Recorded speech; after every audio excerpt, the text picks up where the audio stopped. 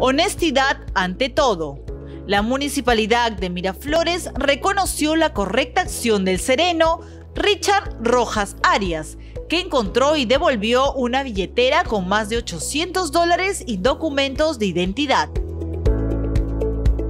Me siento feliz y contento por, ¿no? por mi trabajo.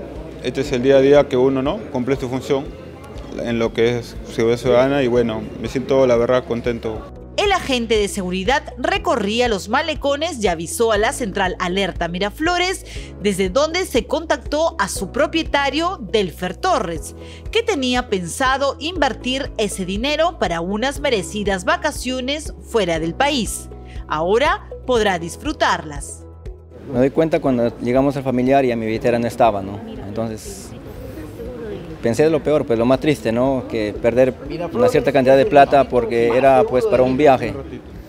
Y gracias a Dios, pues acá el Sereno eh, le está devolviendo ese que tiene mucha honradez. Municipalidad de Miraflores a su servicio.